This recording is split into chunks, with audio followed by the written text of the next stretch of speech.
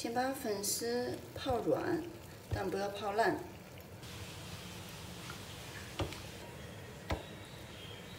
粉丝泡软了，把水逼出去。现在涂抹上我们自制的蒜蓉辣椒酱。我们家习惯了把这个都抹匀，都拌匀。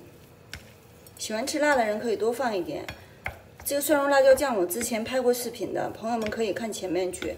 之后的话，我可以再做一次，做一个更详细的哦。我们把打理好的虾放在上面。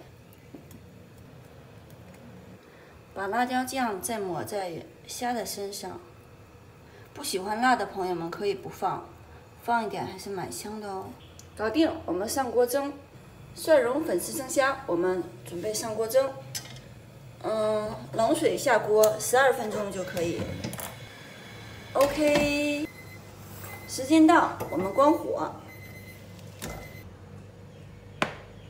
倒一点酱油。起火烧油，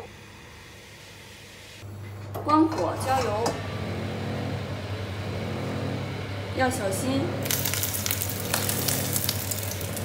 搞定。嗨，朋友们好，今天我们的蒜蓉粉丝蒸虾已经做好了，看一下有没有食欲啊？希望朋友们能喜欢哦。我会用心的做好每一道菜，希望朋友们能喜欢我的视频。感谢朋友，如果喜欢我的视频的朋友们，请帮我在下面点赞，谢谢。今天这个视频就到这里了，朋友，拜拜。